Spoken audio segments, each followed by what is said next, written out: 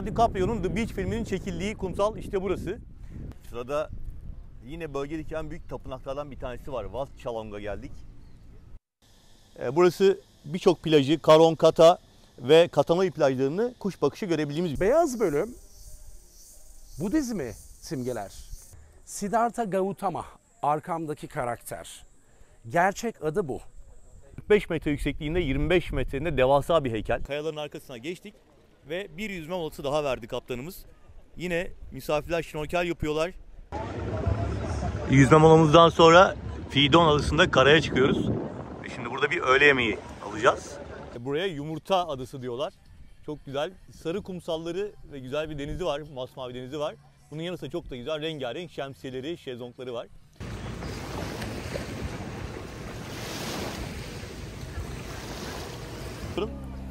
Ama böyle karpuzu bulursam kaçırmam. Phuket'te Patong plajının yanında Efendim dünyanın en çok tercih edilen en popüler tatil beldelerinden bir tanesi olan Phuket'ten herkese selamlar. Ben Ersin Tekin. Bildiğiniz üzere bir süredir güzel otel videoları paylaşıyorum ve sizlerin tatil seçimlerinize katkıda bulunmaya gayret ediyorum. Ancak pandeminin yavaşlamasıyla beraber artık yurt dışı seyahatlerimiz de başladı. Ve ben de uzun yıllardır misafirlerimize, gruplarımıza yurt dışı seyahatlerinde eşlik eden bir turizmci olarak bu defa grubumuzla beraber yaptığımız Phuket turunda vlog haline getirerek sizlerle paylaşmak istedim ve Phuket'le ilgili sizleri bilgilendirmek istedim. Olası Phuket tatilinizde bu videodan faydalanabileceğinizi tahmin ediyorum. Ee, bu çalışmamı aslında gün be gün, biz 7 gün boyunca Phuket'te olacağız grubumla beraber ve gün be gün her günü ayrı bir video halinde sizlere sunacağım. Yani örnek veriyorum bir gün Phuket şehir turu yapacağız. Tapınakları gezeceğiz. Phuket merkezi gezeceğiz. Old Town'a gideceğiz. Big Buda'ya gideceğiz. Plajları gezeceğiz. Ertesi gün Fifi Adası'na gideceğiz. Bir sonraki gün James Bond Adası'na gideceğiz. Şu anda bulunduğumuz e, Koral Adası'nın videosunu hazırlayacağım ve her gün için ayrı bir videoyla sizlere Phuket ile ilgili tam ve doğru bilgilendirmeler, çok da güzel görüntüleri izletmeye çalışacağım. Tabii ki siz de Phuket'te tatil yapmaya karar verirseniz inanıyorum ki bizlere yani tatil ekibine ulaşacaksınız. Bizler de sizler için güzel bir Phuket tatiline e, vesile olmuş olacağız. Muhtemelen ben de size eşlik eder olacağım bu tatillerde. E, evet, e, lafı çok daha fazla uzatmayacağım. Şu anda Koral Adası'ndayız. Ben ilk günden başlamak üzere rehberimiz eşliğinde yaptığımız turlardaki en santaneleri sizlerle paylaşacağım. Ve sizlerden de ricam lütfen videoları beğeni yapmayı, abone olmayı ve Phuket tatiliniz içinde bizlere ulaşmayı ihmal etmeyiniz. Sizleri Phuket'te görmek üzere e, istekleriniz, dilekleriniz gerçek olsun diyerek videolarıma başlıyorum. Buyurun. Ve evet efendim Phuket turumuza başlıyoruz. Bizler misafirlerimizi Phuket'e getirdiğimiz zaman ilk gün hemen bir şehir turu yapıyoruz. Ee, Phuket'in etrafında görülmesi gereken popüler noktaları gösteriyoruz ve bunlardan ilki tabii ki Patong plajı. Phuket'e geldiğiniz zaman en çok kulağınıza gelecek ve en çok görmek istediğiniz yerden bir tanesi Patong olacak. Ee, Patong yerleşim alanı burada da çok sayıda restoran, kafe, e, bar, eğlence merkezi ve yine çok sayıda otel konaklama alternatifleri bulunuyor. Dolayısıyla e, biz de misafirlerimizi getirdiğimizde önce Patong bölgesinden başlıyoruz. Buraları gösterdikten sonra da Phuket'teki diğer görülmesi gereken noktaları gün içerisinde gezdiriyoruz. Daha sonra da ertesi günlerde yine tekne turlarımız olacak, ada turlarımız olacak e, ve farklı noktaları keşfetmeye devam edeceğiz. Önce Patong'la başlayalım. Ve hemen şöyle kısaca bir Patong plajını size göstermek istiyorum. Burası Phuket'teki en popüler plaj demiştim. Yaklaşık 3 kilometre uzunluğunda turkuaz rengi denize sahip sığ bir deniz burası ve çok ince böyle sarı diyebileceğimiz bir kum yapısıyla gerçekten güzel bir görüntü sunuyor. Ee, özellikle gece eğlencesiyle deniz keyfini birleştirmek isteyen misafirler genellikle Patong plajını kullanıyorlar. Çünkü e, en çok sayıdaki bar, kulüp, e, eğlence mekanları Patong bölgesinde. Dolayısıyla hem böyle güzel bir sahilde deniz keyfi yapmış oluyor insanlar e, hem de e, akşamları da çok başka bir yere gitmeden, uzaklaşmadan Barlar Sokağı'na, Bangla'ya, Walking Street'e e, ulaşabiliyorlar. Şimdi burada dilerseniz kiralık şezlonglar, şemsiyeler var. Dilerseniz kendiniz getirdiğiniz havlunuzu burada palmiyelerin gölgesinde kullanabilir ve herhangi bir ücret ödemeden plaj keyfi yapabilirsiniz. Yer yer bazı noktalarda da özel plajlar var. Yani daha çok böyle hani clubber tarzı benim müziğim olsun, güzel yiyecekler, içecekler sunulsun. Hatta havuzu olanlar falan da var. Tabii ki onlar ekstra ücret karşılığı e, faydalanabileceğiniz e, beach kulüpler, plaj kulüpleri. Onlardan da bahsedeceğim size. Şöyle Patong'u biraz daha kısaca göstereceğim. Sonra şehir turumuzda misafirlerimizi başka nerelere götürüyoruz? Onları da sizlere anlatmaya çalışacağım. Bu arada önündeki tekneden hemen bahsedeyim size. Ee, Tayland'da en yoğun kullanılan yerel teknelerden bir tanesi longtail deniyor buna. Bir motor, uzun ucunda uzun bir çubuk var. Bunlar hareket halindeyken de çekip göstereceğim zaten size. Ee, bunlarla gezinti yapabilirsiniz. Hatta Patong'da bakın şu karşıda teknelerin hani dolmuş tekne olarak ifade edebilirim bunları. Onlara binerek küçük turlar yapabiliyorsunuz. Bu plaj etrafındaki şu karşıdaki koylara gidebiliyorsunuz. Yani Patok'tayken de, Patok'tayken de e, böyle kısa küçük turlar yapabilirsiniz teknelerle. E, tabii ki Patong'un etrafında e, bakın tepelerde oteller de var. Yani siz hem eğlence merkezlerine yakın olayım hem de e, biraz e, sakin ve doğayla iç içe e, plaja da yakın bir noktada olayım derseniz Patong'un etrafındaki bakın şu karşı tepeleri de göstereyim size. Çok lüks oteller var. E, balayı çift olarak gelen misafirlerimize genellikle biz e, bu otelleri tavsiye ediyoruz. Çünkü hem daha relax, daha sakin, daha izole alanlarda bulunuyorlar. E, hem de istedikleri zaman e, Patong'a, eğlence merkezlerine çok kısa bir mesafede, böyle 5-6 dakikalık mesafede ulaşabiliyorlar. Evet, turuma devam ediyorum. Bir başka noktaya gideceğiz. Bir panorama noktasına gideceğiz ve oradan da görüntüleri sizlere sunuyor olacağım.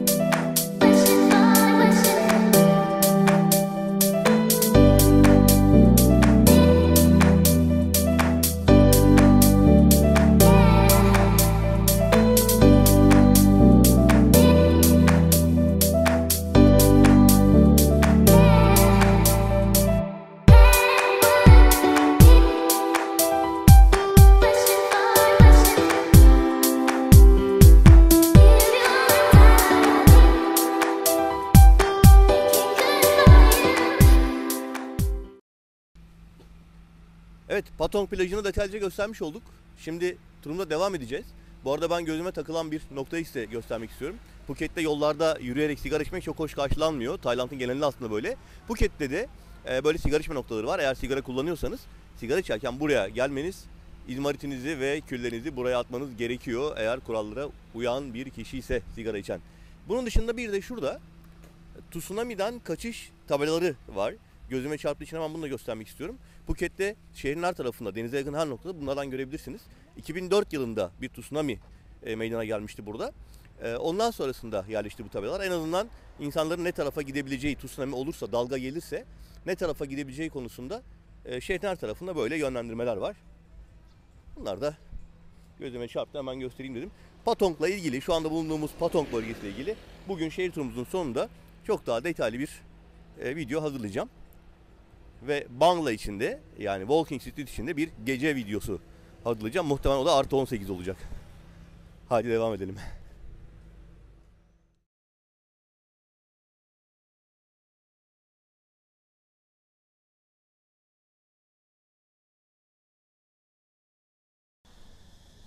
Efendim misafirlerimizle yaptığımız şehir turunda Patong'dan sonra ikinci noktamız Karon View. E, Burası birçok plajı, Karon Kata ve Katanoi plajlarını kuş bakışı görebildiğimiz bir yer. Bu arada benim Phuket'teki plajlarla ilgili ayrı bir videom daha var. Bu turum sırasında onları da çektim. Yani bahsettiğim Karon Kata, Katanoi plajları ile ilgili drone ile çekilmiş görüntüleri de ayrı bir videoda izleyebilirsiniz.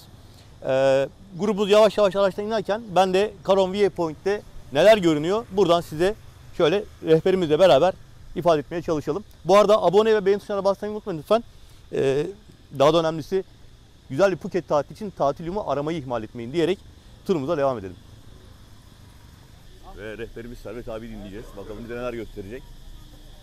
Bu arada hemen rehberimizi tanıştırayım size. Servet Bey turumuz boyunca bize eşlik edecek. Ve bir hafta boyunca bizi gezdirecek. Servet abi nasılsın iyi misin? İyiyim çok şükür. Ben Her şey yolunda. sürekli böyle çekeceğim sizi ama sakıncası yok değil mi? Arkaya dönebiliyorsunuz. Bakın şimdi. En yakın olanı bize şöyle göstereyim. Katanoi. O hani tavsiye ettiğim bir plaj vardı. Katanoi. Serbest zamanda bence mutlaka birkaç saatinizi oraya ayırın. Çok tatlı bir plaj. Ee, hani tam teşekküllü olmasa da restoranlar vesaire o kadar tatlı, o kadar organik ki en azından daha şimdiye kadar çok fazla bozulmadı. Katanoi'yi tavsiye ederim. Hemen bir arkası Kata plajı. Yine orası da çok meşhur. Orada bol bol oteller var. Servet Bey'in anlatımlarından sonra ben de kısaca bir toparlamak istiyorum. Şu anda geldiğimiz nokta Karon plajının hemen üst tarafındaki tepedeyiz. Ee, manzara noktasındayız. Ee, karşıdaki en uzaktaki tepenin arkasında Patong plajı var. Hemen önünde e, Karon plajı, daha sonra ikinci yani ortada görünen e, Kata plajı ve hemen şuradaki küçük plajda Kata Noi plajı. Ee, burada böyle biraz serinlemiş olduk. Güzel bir orman havasıyla e, şehir turumuz devam ediyor. Phuket'i gezmeye devam ediyoruz. E, tekrar ben bildirim yapmak istiyorum. Özellikle Phuket'teki serbest zamanlarınızda buradaki plajları kullanabileceğinizi Servet Bey söylemişti. Aklınızda olsun. Özellikle Katanoi gayet keyifli plaj. Bakın buradan Big Buddha da görünüyor. Turumuzun bir parçası olarak Phuket'teki en büyük Buda heykelini yine bu videomuzda birazdan görebileceksiniz. Ve size biraz da Budizm'den çok kısaca bahsedeceğiz. Ee, ve Tayland'da yaşayan insanların e, yani gittikleri ibadethanelerle ilgili kısa da bilgi vermiş olacağız. E, Buda heykelinden sonra bir de Wat Chalong Tapınağı bu konuda e, şehir turumuzun parçası olarak videomuzda olacak. Evet. Misafirler araca bindiler. Biz de turumuza devam edebiliriz. Servet Doğrucu ben. 2005 yılından beri 16-17 senedir Tayland'tayım. Misafirlerimizle birlikteyiz. Big Buda'dayız efendim şu anda. Ee, deniz seviyesinden yaklaşık 400-450 metre yüksekteyiz bu arada. Hissedersiniz belki 1-2 derece düşmüş olabilir hava sıcaklığı. Efendim burada değişik renkte bayraklar görüyorsunuz. Ama şu an için milli bayrağı, Tayland'ın milli bayrağı bu. Üst ve alttan iki şerit kırmızı, ortası mavi ve iki şerit yine beyaz. Değil mi efendim? Orta bölümdeki mavi kraliyeti temsil eder. Çünkü burada Çakra Hanedanlığı var. 10. kralımız şu an zaten biliyorsunuz e, Maha Vajiralongkorn kendisi efendim. Şu an 10. kralımız. 9. kralımızı maalesef kaybettik 2016 yılında. Bir sene boyunca yas ilan edildi. 2017'den itibaren de tahta oturdu kendisi. Beyaz bölüm Budizmi simgeler. Evet, beyazlar her zaman Budizmi simgeler. Kırmızı ise efendim halkı temsil eder. Tayland, Tayland adını almadan önce biliyorsunuz Siam Krallığı da var idi. Ee, çok çok krallıklar yaşandı burada. Özellikle 13. yüzyıldan itibaren. Sukhothai Krallığı, Ratanakosin Krallığı, Tomburi Krallığı, Ayutthaya Krallığı ki Ayutthaya Krallığı 14 ila 17. yüzyıllar arasındaki en büyük nüfusa ulaşan krallıktır. Şu anki kraliyet Çakra Hanedanlığı Ayutthaya'dan gelir. Efendim? İngiltere'de krallık var. Aynen öyle canım bravo. Birkaç ülkede de var bu krallık. Tayland bu bayrağı almadan önce belki hatırlayanınız olur. Sarı ortasında fil vardı. Değil mi efendim? Ortasında fil olan sarı renkte. Sarı her zaman kraliyeti temsil eder. Bakınız. Bunlar aynı zamanda tabii onlara saygıdır. Ben 2005 yılında geldiğimde buraya Bangkok'ta pazartesi günleri biz sarı tişörtler giyerdik. Salı günü mavi, çarşamba günü pembe tişörtler giyerdik. Devlet memurları, kamu görevlileri çalıştıkları yerlerde o renkte tişörtler giyerlerdi. Kraliyete olan sevgilerini, saygılarını göstermek için. Devam edelim lütfen.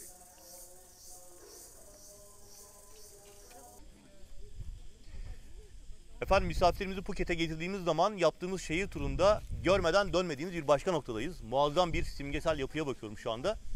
Ee, orayı birazdan göstereceğim, anlatacağım. Ama şu an sizin karşınızda olan bir bölümden bahsetmek istiyorum. Ee, Phuket bildiğiniz üzere bir ada. Tayland'ın 450 bin nüfuslu bir adası. Aynı zamanda dünyanın e, en popüler turizm beldelerinden bir tanesi. Turizm destinasyonlarından bir tanesi. E, Ve gördüğünüz gibi her tarafı denizlerle, adalarla çevrili. E, Buradan çok sayıda ada turları ve deniz turları olabiliyor. Biz de yarın mesela PP adası turuna gideceğiz. Sonraki gün James Bond adası turuna gideceğiz. Ondan sonra mesela karşımda Koral adası var. Yani buradan birçok ada turuna çıkabiliyorsunuz. Şu anda Chalong e, limanına, marinasına bakıyoruz. E, bu bölümün e, diğer tarafı bir ucu Andaman Denizi'ne açılıyor. Zaten Phuket Tayland'ın Hint Okyanusu'na açılan kapısı gibi de düşünülebilir. Bulunduğumuz konum olarak bunu ifade etmek istiyorum. E, şu anda hava biraz puslu. Biraz daha açık olsaydı masmavi çok güzel manzaraları ve çok sayıda adayı görebilecektik. Şimdi lafı çok uzatmadan esas buraya gelme sebebimizden bahsetmek istiyorum. E, şu anda baktığım muhteşem ihtişamlı yapıdan. Buyurun beraber görelim. Evet rehberimiz beni çağırıyor. Hemen onu takip ediyorum. Onun gözü ne zaman kapanıyor? Yarım açık, yarım kapalı. Çünkü meditasyonunu yap. Şimdi efendim Siddhartha Gautama arkamdaki karakter. Gerçek adı bu. Niye Buda diyorlar? Eski dilde Sanskritçe dilinde ki Sanskritçe dili e, milattan önce yazılan milattan önce 2000 ile 2500 yılı öncesi yazılan bir dildir. Hinduistler aynı zamanda Budistler kullanmıştır ve hala kullanılmaya devam ediyor. Dualar Sanskritçe yapılır. Tapınaklara gidildiğinde rahipler o duaları, o iyilik dualarını hep Sanskritçe yaparlar. Sanskritçe kelimesinden uyarlanan Buda kelimesi aydınlanmaktır, uyanmaktır. Uy- Uyanan kişiye Buda derler. Yani Buda tek değildir. Siz de Buda olabilirsiniz. Siddhartha'nın öğretilerini eğer takip ederseniz. Budizm bana göre özellikle bir yaşam biçimidir, bir felsefedir. Yaşamınızı değiştiriyor sizin çünkü. E, hayata bakış açınızı değiştiriyor.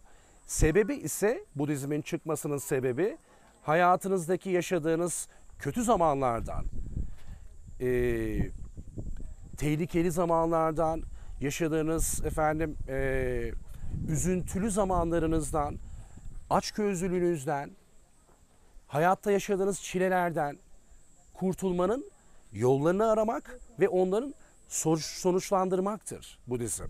O yüzden e, Budizm felsefesinde bazı e, öğretiler vardır. O öğretileri ben arzu ederseniz farklı hakikatli yollar vardır çünkü. Doğru nefes alışveriş, doğru düşünme, e, doğru e, karakter, e, bu gibi böyle önemli detaylar var. Sonradan ben size grupta bunu paylaşırım. Arzu eden varsa, ilgilenen varsa bununla alakalı harika bir kitap var. O kitabı da efendim ön yüzünü grupta paylaşabilirim. DNR'da bulabilirseniz eğer okumanızı tavsiye ederim. Hiçbir şekilde size zarar vermez. Tam tersine efendim inanılmaz bir sabır elde ediyorsunuz. Hayata bakış açınız tamamen değişiyor. Karıncaya dahi za- zarar vermiyorsunuz. Yani hiçbir canlıya zarar vermiyorsunuz onları okuduktan sonra. Siddhartha Gautama önce 483-563'lü yıllarda doğdu. Kendisi bir klanın liderinin oğluydu. Kralın değil, klanın liderinin oğluydu. Yani öyle çok kalabalık bir e, gruplaşma yoktu efendim. Fakat o bölge Hindistan Nepal sınırları arasında Nepal'de olan bir bölge. Lumbini diye geçer. Lumbini'de doğmuş bir insan Siddhartha Gautama. O e, tarihin şartlarına göre yaşayabileceği her şeyi elinde. O kadar durumu iyi ki efendim. Her şeyi var. Düşünün. Ama e, aradığı, sormak zorunda olduğu bazı sorular var idi hayatla alakalı. Bu hayatın neden böyle çileli olduğuyla alakalı. Bunların nasıl e, unutulacağıyla alakalı bazı metotlar belirledi. 29 yaşına kadar klandan ayrılmadı.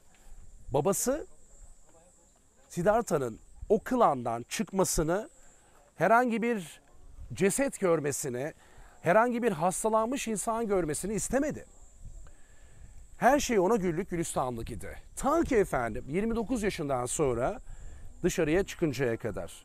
Çıktıktan sonra ilk gördüğü şey hastalanan insanlardı sokaklarda, yollarda.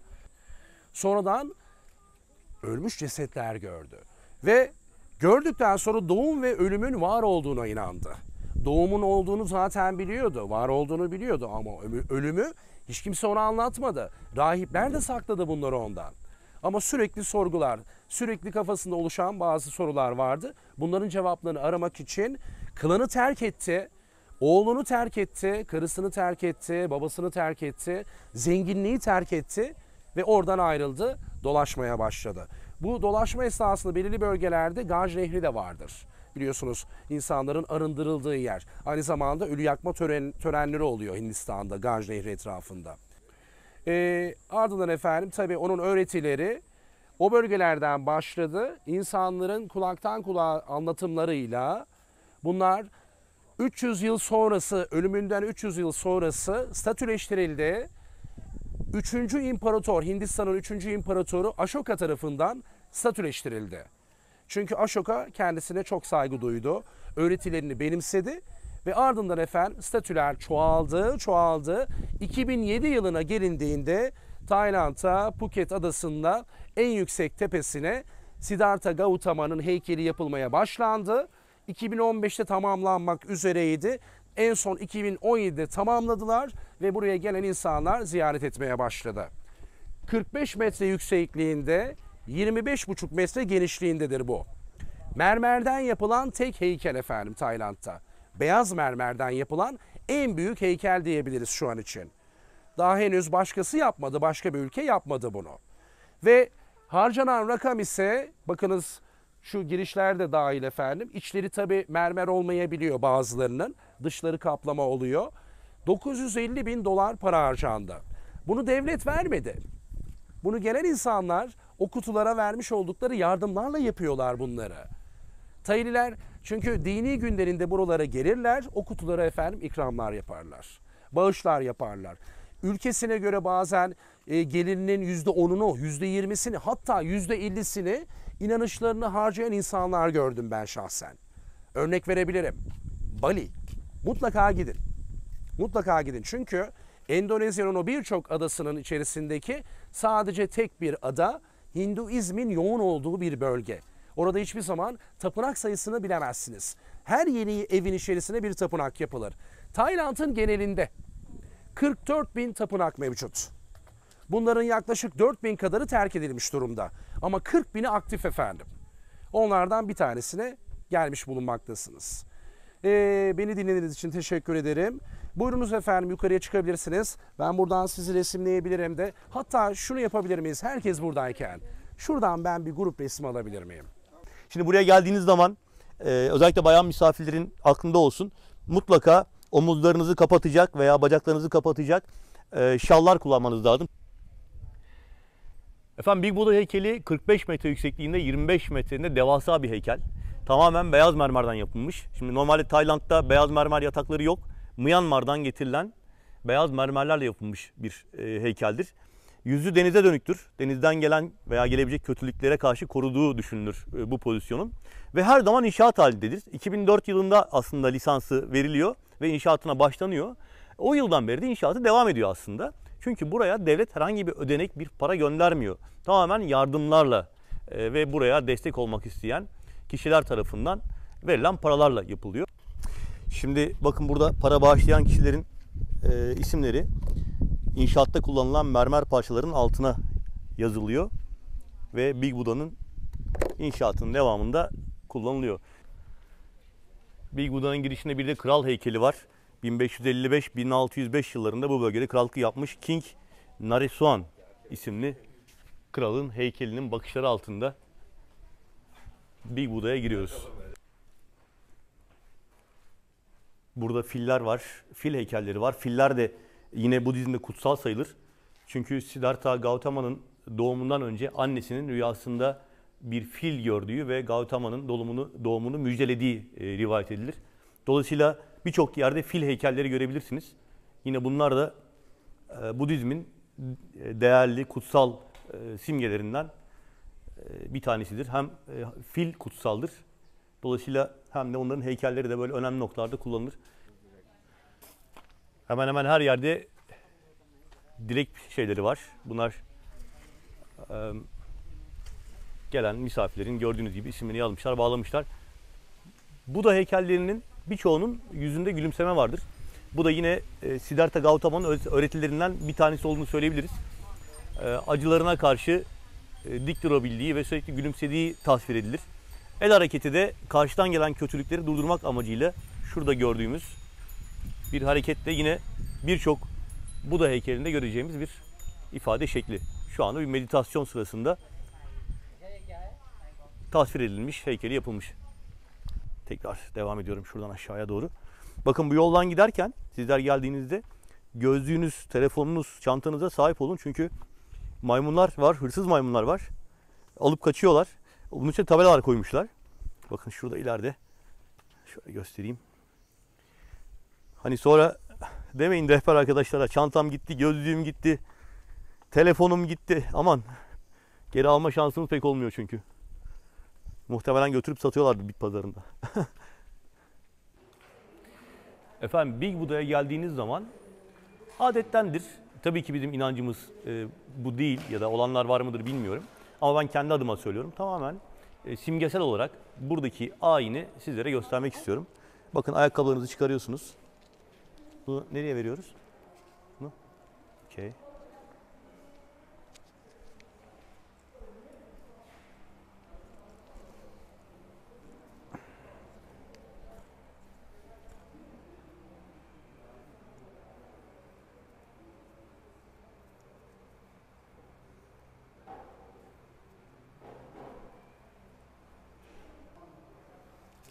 buraya bak. Nereye sonra?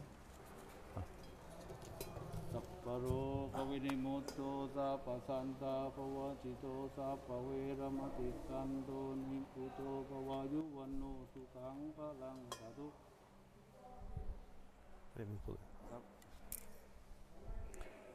Evet, e, suyla ıslatıyor sizi ve bir bileklik bağlıyor. Bu bileklikte tabii bağlanırken bir dilek tutuyorsunuz ve kendi haline kopmasını bekliyorsunuz, çıkarmıyorsunuz. Bir de içinde çok sınırlı renkler falan var.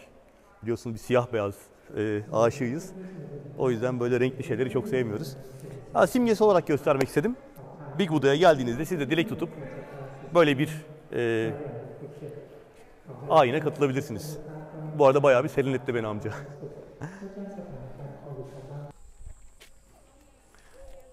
Big Buddha heykeline geldiğiniz zaman yine yapmayı, yapmayı deneyeceğiniz bir seremoni. Çakralarınızı açmak için. Burada böyle bir aktivite var. Ben de deneyeceğim bakalım başarabilecek miyim?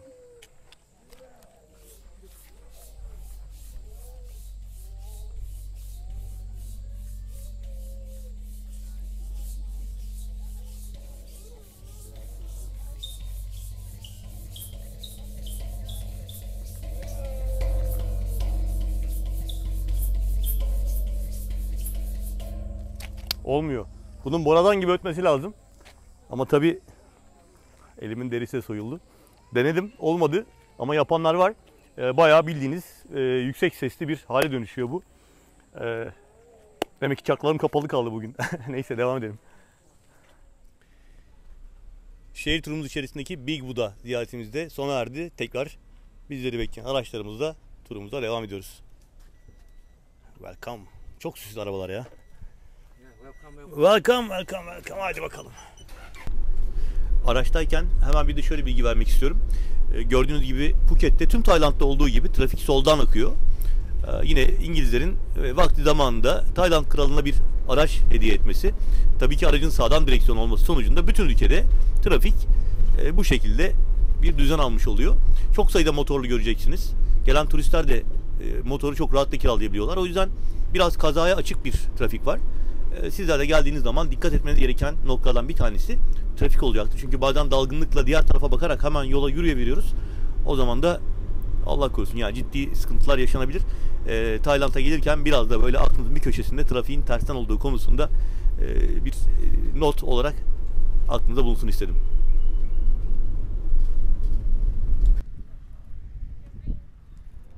Evet, Phuket şehir turumuz devam ediyor. Sırada yine bölgedeki en büyük tapınaklardan bir tanesi var. Wat Chalong'a geldik. Rehber arkadaşımız yine sunum yapıyor. Ben de hemen yetişiyorum. Efendim Phuket'teki şehir turumuzun bir başka durağı Wat Chalong Tapınağı. Phuket'teki en önemli ve en büyük tapınaklardan bir tanesi. Phuket toplam 28 tane büyük tapınak var aslında. Bir Budist tapınağı. Ee, özelliği ise e, vakti zamanında bu bölgede kalay madeni işlenirken çok sayıda Çinli işçiler çalışıyormuş ve e, bir süre sonra buranın yerel halkıyla bu Çinli işçiler arasında büyük savaşlar, kavgalar çıkmaya başlamış. Ve iki tane rahip, Budist rahip e, burada yaralanan yerli halkta e, halka çok büyük yardımlar yapmışlar. Onların iyileştirilmesine çok katkı sağlamışlar. Dolayısıyla savaşların sonrasında da bu rahiplerin anısına Chalong Tapınağı inşa edilmiş. Şu anda da gerçekten çok saygı duyulan ve insanların çok ziyaret ettiği tapınaklardan bir tanesi Wat Chalong. Beraber gezelim.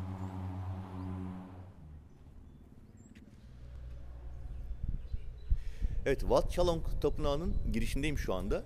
Bakın misafirler, insanlar girerken ayakkabılarını çıkartıyorlar. Ee, hanımefendi misafirler mutlaka omuzları açıksa şal alıyorlar üzerlerine. Şortlu olanlar varsa, mini etekli olanlar varsa yine bir e, peştemal ve benzeri bir şeyle sarmaları gerekiyor. E, bundan sonra içeri giriş yapılabiliyor. Sonuçta bir ibadethaneye giriyoruz ve dolayısıyla kılık kıyafet olarak da temizlik olarak da belli kurallara uymak gerekiyor. Wat Chalong'a giriş yaparken. Tayland'a daha önce gelmiş misafirlerimiz hatırlayacaklardır. Bangkok'ta da çok daha büyük, çok daha gösterişli e, tapınaklar, Budist tapınakları var.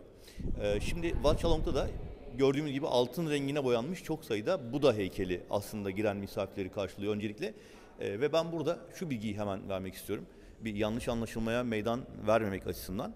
E, burada dua eden insanlar tabii ki e, bu heykelleri dua etmiyorlar. Yani bunlara tapınmak gibi bir durum söz konusu değil. E, ancak Budizm'de bu heykeller Budizm felsefesinin e, birer simgesidir. Yani her birisi sadece birer simgedir. E, bu heykelleri tapınmak diye bir şey söz konusu değildir. Budizm felsefesi insanlığın iyiliğinden doğar. Yani insanın e, önce kendisine sonra etrafına saygı duymasından doğar. Ve buradaki heykellerin tamamı da bunları simgeleyen, bakın gülümseyen yüzleriyle hemen hemen hepsinin, hemen hemen değil hepsinin yüzlerinde bir tebessüm vardır. E, bu aslında e, iyiliği e, temsil eden bir e, yüz ifadesidir. E, ve Tayland'da yaşayan e, insanların birçoğunun da benzer yüz ifadesiyle gezdiklerini görebilirsiniz. E, ve Wat Chalong Tapınağı'nda da gördüğümüz gibi son derece görkemli, gösterişli ve Budist e, inancına uygun bir tasarımla hem gelen turistler gezebiliyorlar hem de ibadete açık. Burada da dualar yapılıyor. Evet.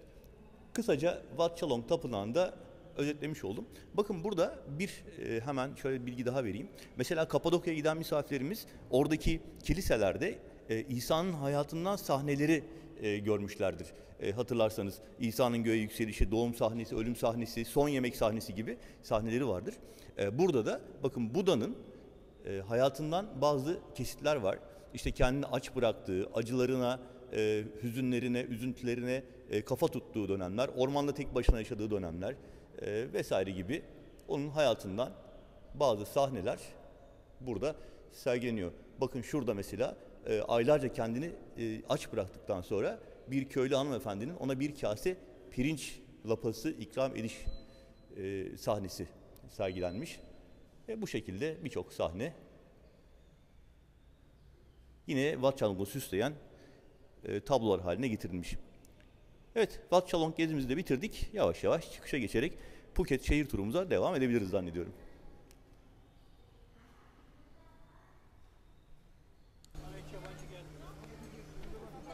Efendim Wat Chalong Tapınağı'nda şimdi bir seremoni yapacağız. Efendim biliyorsunuz Çin yeni yılları vardır. Çin yeni yılı genelde senenin Şubat ayı ilk haftasında başlar.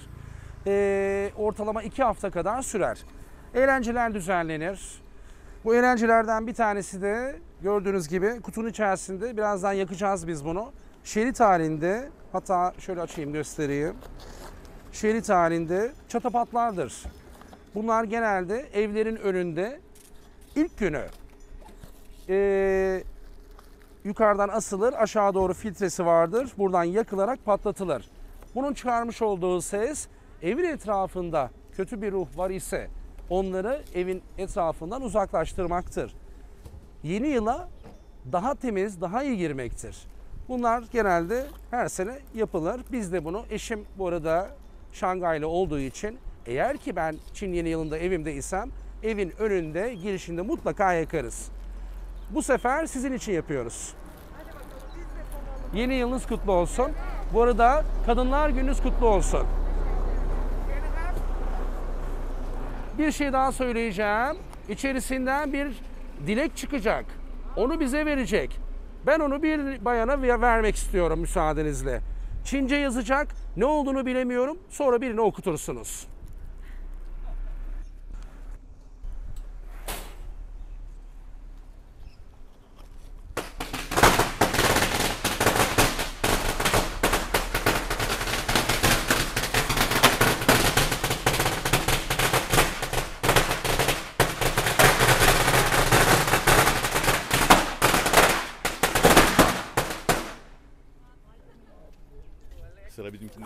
Hadi al kap. Thank you. Evet burada bir dilek var efendim. Çince tabii ben bunu okuyamıyorum. Keşke okuyabilseydim Eşinize sizlere. gönderin fotoğrafını o okusun. Olur, o da olur. O da olur. O zaman vermeden önce bir göndereyim, resmini çekeyim ondan sonra birinize hediye ederim. Olur mu efendim? Peki. Peki. Teşekkürler. Bunları biz de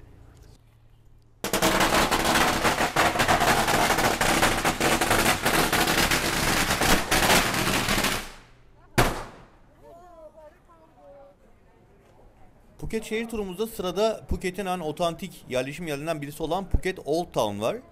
Ee, Burası Portekizlerin yerleşik olduğu dönemde e, Akdeniz mimarisinde yapılmış e, binalarla dolu. Biraz Küba'yı andıran, biraz Portekiz'i, İspanya'yı andıran yapıya sahip rengarenk e, bir mahalleye şu anda girmiş olduk. Kısaca göstermek istiyorum size burayı da.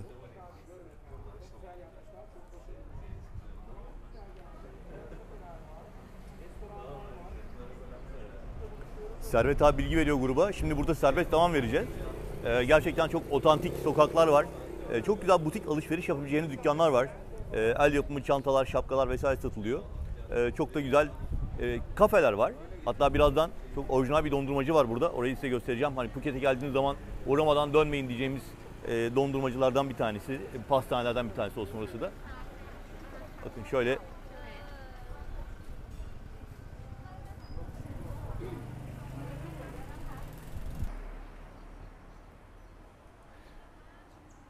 Old Phuket'te rengarenk evler, küçük şirin kafeler, dükkanlar ve gayet güzel keyifle yürüyüş yapabileceğiniz şirin caddeleri var. Ara sokakları da gayet güzel. Ben önce şu ana caddeden biraz görüntü paylaşmak istiyorum. Burada bana Alaçatı'yı andıran bir e, mağaza gözüme çarptı. Mavili beyazlı. Bodrum'da Alaçatı'da böyle mağazalar çok vardır değil mi? Hemen dönelim ve Old Phuket turumuzu yavaş yavaş şöyle bir ilerletelim bakalım mimarisinin esintilerinin yine Portekizlerden kalma olduğunu söylemekte fayda var. Tabii ki zaman içerisinde restore ediliyor, yenileniyor ama e, aslına sadık kalınarak yapıldığı için e, restorasyonlar ve boya çalışmaları yine orijinalliğini koruyarak buraya bolca turist çekiyor Old Phuket.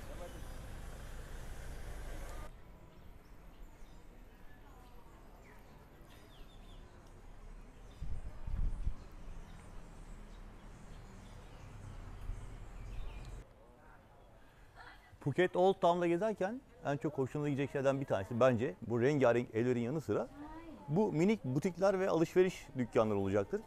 Ee, hepsi o kadar güzel ve keyifli ki yani o zamanki dönemin atmosferini yansıtan e, çok fazla böyle vitrinlerle vesaire süslenmemiş e, gayet keyifli güzel dükkanlar ve kafeler var. Burada bir dondurmacı açılmış. Ama bu dondurmacının en meşhur olanı şu tarafta.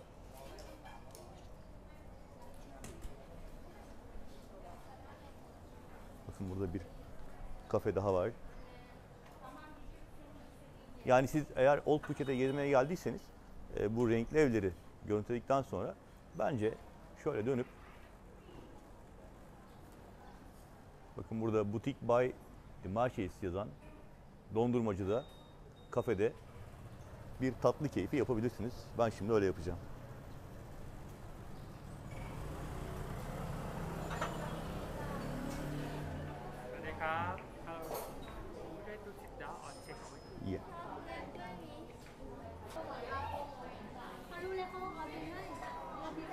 Evet işte meşhur organik dondurmalar hiçbir gıda boyası kullanılmadan yapılan tamamen bitkilerin kendi renklerinden, e, onların özünden oluşturulmuş şuruplarla yapılan dondurmalar işte burada.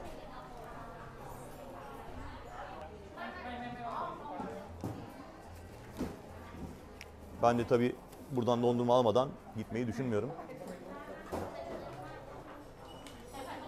Evet, homemade dondurmamızı aldık. Hemen Bakın bayağı da kalabalık içerisi. Şöyle tekrar yerini göstereyim. Old Town'a geldiğiniz zaman bu sokaktayız. Zaten muhtemelen taksiyle veya dolmuşa geldiğiniz zaman şu büyük e, tapınağın önünde iniyorsunuz. Ve bu sokaktan girdiğinizde de bu meşhur dondurmaya kavuşabilirsiniz.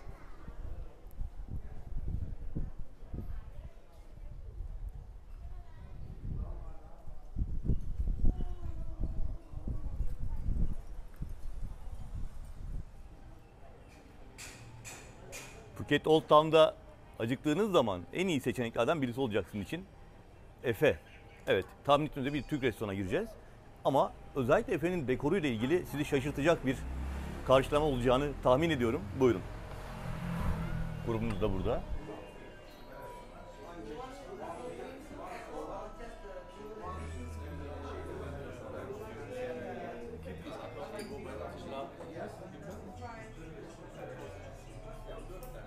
Otantik Osmanlı e, dekoru kullanılmış, eskitilmiş eşyalar, eskitilmiş avizeler e, ve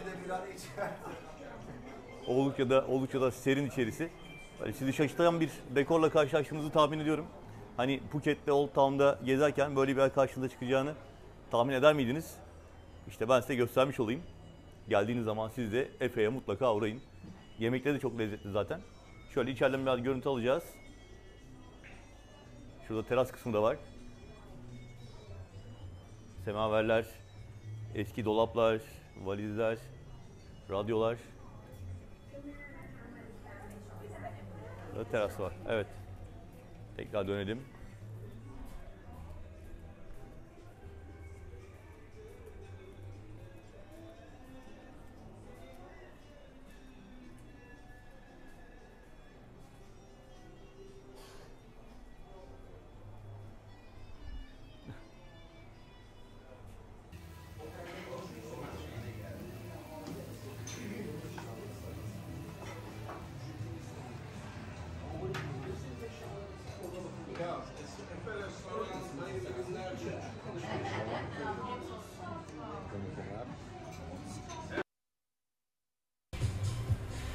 Efendim Phuket şehir turumuzun final noktası Patong Beach. Sabahtan beri birçok nokta gezdik. Big Buda'ya gittik, Phuket Old Town'u gezdik, Wat Chalong Tapınağı'nı gördük. Ee, ve finalde Patong Beach'e sakladım. Çünkü burası e, bütün Phuket'in enerjisi en yüksek, en eğlenceli, en coşkulu noktalarından bir tanesi. Patong Beach aslında Phuket'in en uzun sahiline, e, kumsallarına sahip olan bir bölge. Ama tek özelliği bu değil. Şu anda benim baktığım tarafta Bangla Road isimli bir cadde var. Ee, Phuket'teki birçok eğlence mekanı buraya toplanmış durumda. Gece kulüpleri, barlar, diskolar birçoğu burada. Birazdan size burayla ilgili bir ön bilgilendirme videosu, görüntüleri sunmuş olacağım. Olası Phuket tatilinizde zaten e, Patong Beach'e gelmeden dönme şansınız yok ama yine de öncesinde ben size bilgilendirme yapmış olarak bugünkü şehir turumuzu sonlandırmak istiyorum. Yarın da Phi Adası turumuz var. Onu da ayrı bir video olarak sizlerle paylaşacağım. Patong Beach'i gezmeye başlayalım. Buyurun.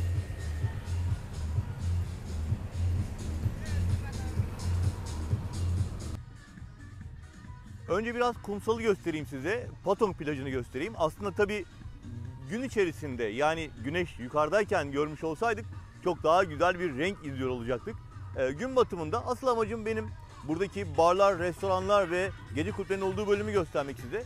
O yüzden plajı daha sonra yine görüntülemek üzere şöyle kısa bir görüntü alıyorum. Evet kısa bir görüntü aldık. Dönüyorum buradan nereye gidiyorum? Bangla Road'a doğru gidiyorum. Patong plajını size kısaca göstermiş oldum. Ve Bangla Road'da bir akşamüstü yürüyüşü yapacağım. Tabii oranın da asıl özelliği akşam saat 8'den 9'dan sonra kıyametler kopuyor. Yani yıkılıyor ortalık. Onlardan da kısa kesitler, görüntüler eklemeye çalışacağım. Evet.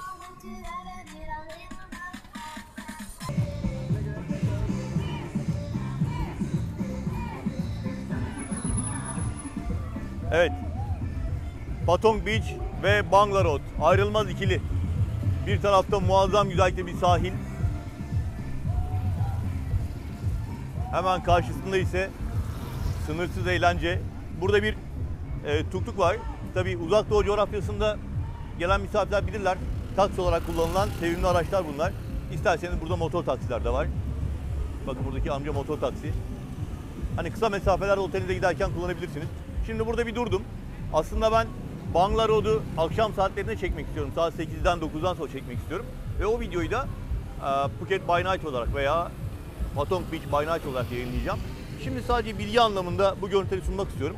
Tabii ki bir dönerci olmazsa olmaz vazgeçilmezimiz dünyanın her yerinde olan bir Türk dönercisi. Birkaç adım atarak Bangla Road'a girebiliriz.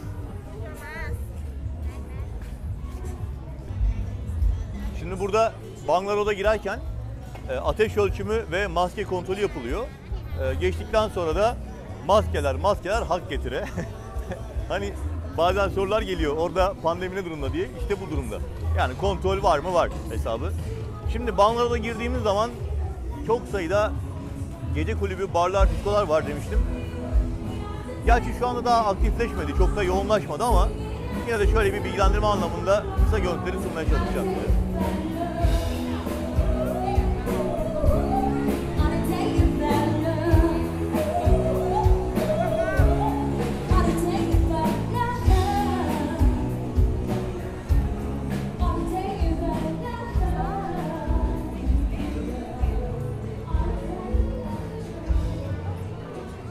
Akşam akşam 8'den sonra çok coşkulu oluyor buralar. 9'dan sonra çok coşkulu oluyor. Bir de şöyle bir şey var. Mesela burası Irish Pub yani birçok farklı konseptte yer var ve e, milletlere göre tercih de yapabiliyorlar. İşte Avustralyalıların takıldığı kanguru bar var. Biraz ileride Amerikalıların çok takıldığı bir bar var. Biraz daha gidiyorsunuz başka bir şey çıkıyor. Mesela burada Avustralyalıların takıldığı bir bar var. Aussie bakın. Hemen şurada. Ya tabiri caizse tam bir eğlence caddesi burası. Her türlü eğlence var. Rock müzik yapan yerler var. Strip kulüp olan yerler var. Veya tekno müzik yapan yerler var. Kim ne istiyorsa burada bulabiliyor. Sokak satıcıları, bakın soğuk meyve. Yine e, Phuket'te tropik iklim, tabii envai çeşit meyveler var. E, Hindistan cevizinden işte ananasa kadar soğuk şekilde sunuluyor. Bence e, güzel bir hizmet. Çünkü tatil sırasında bu yürüyüşler sırasında çok da keyifli oluyor. Aralarda mola verip soğuk meyve yemek. Bu arada yağmur gelmeye başladı galiba. Atıştırıyor yavaş yavaş.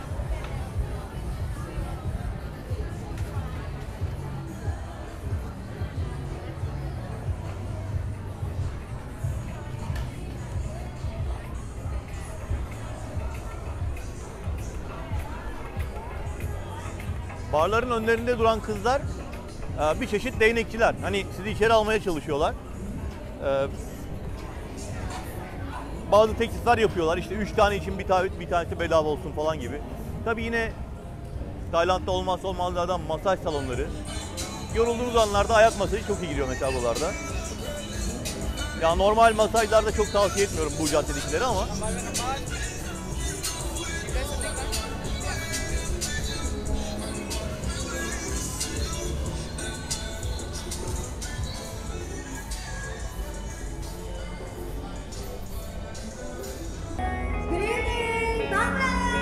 Phuket'e geldiğiniz zaman gece eğlencesi için vazgeçilmeyecek noktalardan bir tanesi New York Live Music Bar.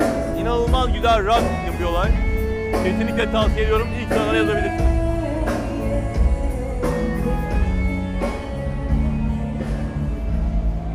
Ve meşhur Tiger.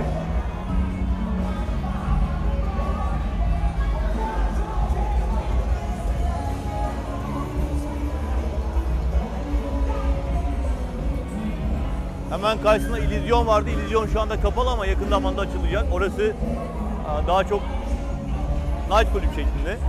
Yani tekno müzikler yapıyor.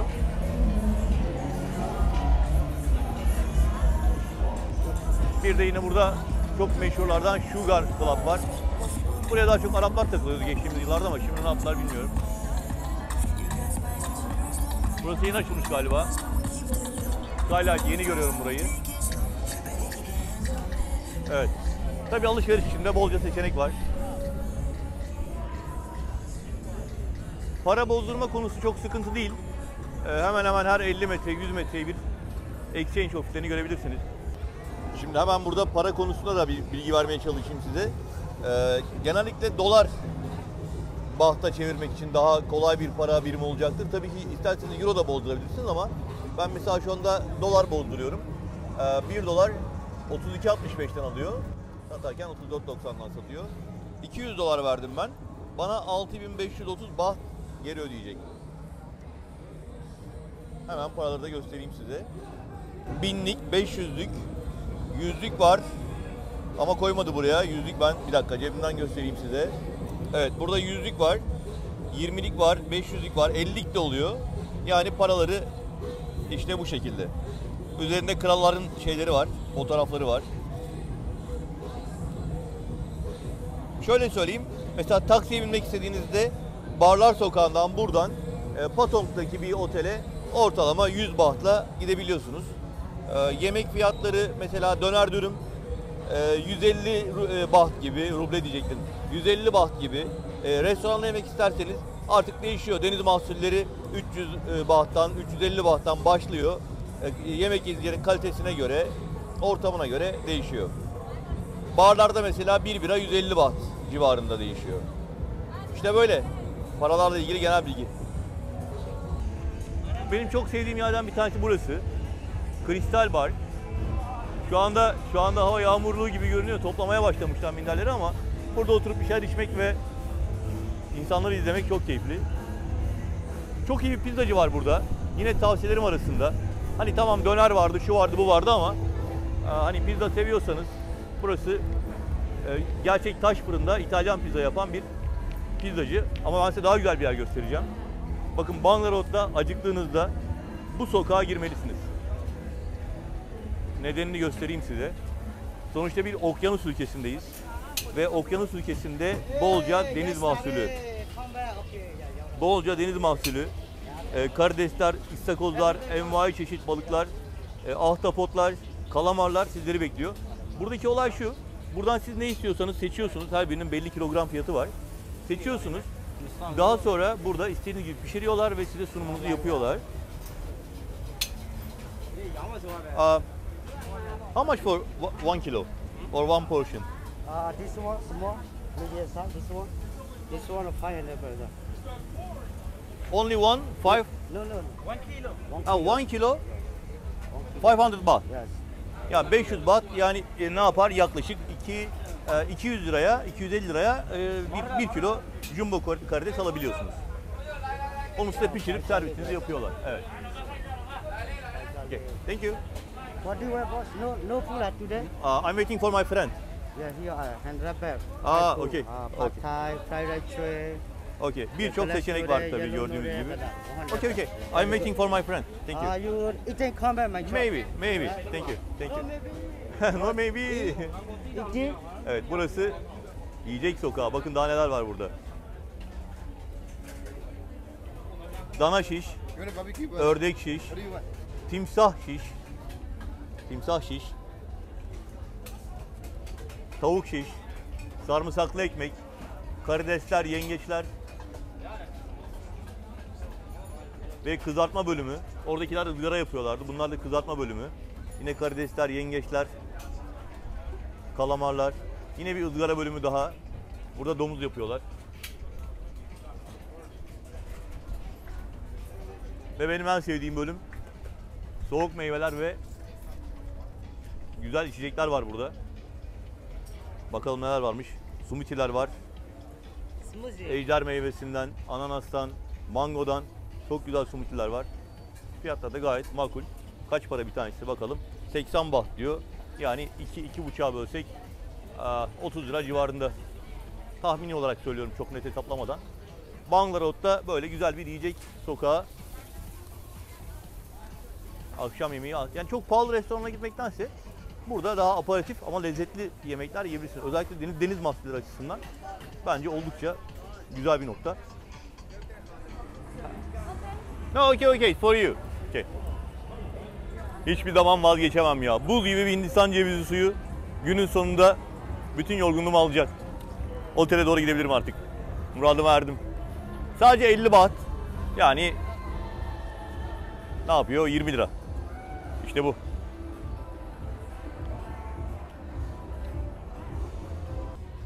İşte bunlar da disco tuktuklar.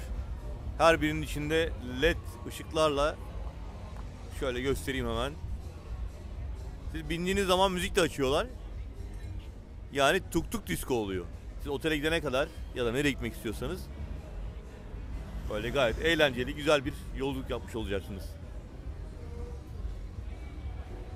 Bu Hello Kitty'li mesela. farklı farklı karakterler kullananlar var. Evet böyle. Bangla Road, Walking Street, Phuket, Tayland.